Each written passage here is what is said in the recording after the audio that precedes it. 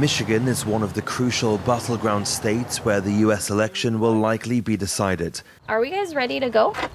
These volunteers work for Emgage, an organization that aims to bring Muslims out to the polls, a key electorate in this region. Do you know what they have in common, our candidates, that some people might have major concerns about at the door? They are pro ceasefire, pro peace, anti war candidates.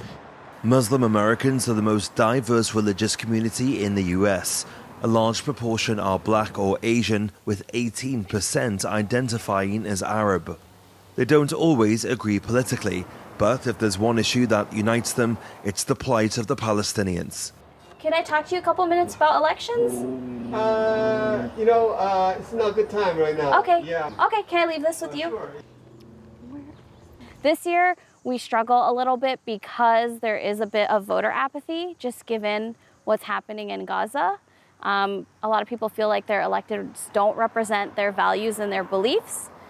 So we do have to do, put in a little more effort to get people to the polls this year. Muslim Americans have criticized Biden's administration for supporting Israel. Without a change in policy, many are likely to abstain and vote only in local and state elections.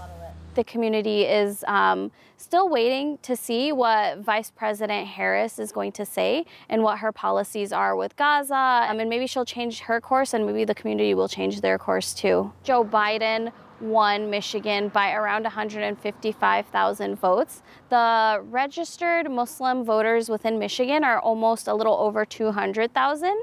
And in 2020, we were actually able to mobilize 145,000 Muslim Muslim voters. So the path to the White House is definitely through Michigan. And I think without Muslim voters in Michigan, it will be really hard to win the election. It's a fact that worried Biden's team when he was at the top of the ticket. Kamala Harris has defended Israel's right to exist, but has called for an end to hostilities in Gaza. But these young voters want more. I know a lot of what she's um, going for and like what she represents aligns with Biden a lot. They've been on the same team. Yeah, I feel like I need four to I need to see her do more for me to be like, oh yes, like her. The war in Gaza and policy towards Israel are also fundamental issues for Jewish Americans. In Miami, home to one of the country's largest communities, the subject is often brought up at synagogues on Shabbat. You might know who must win this election, but in this campaign, you can't assume that either candidate is going to embrace a pro Israel, pro Jewish message. You just can't. As we know, there are other communities out there raising their voices, protesting, spewing hate against us and the Jewish state. They make a lot of noise. Our noise, our shofar blasts, they got to get louder. They have to get strong.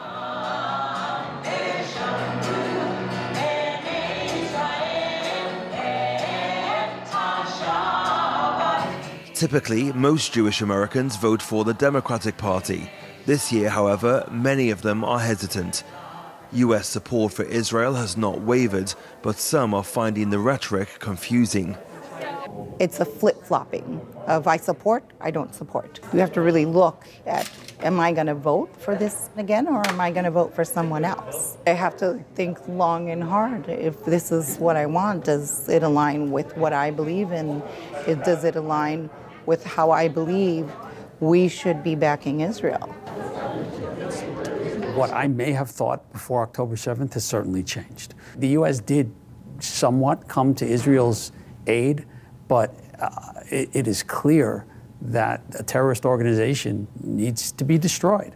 And this government's response has been questionable it, to me and, and many of my friends. The support of Jewish and Muslim Americans is important for the Democrats if they want to win on November 5th.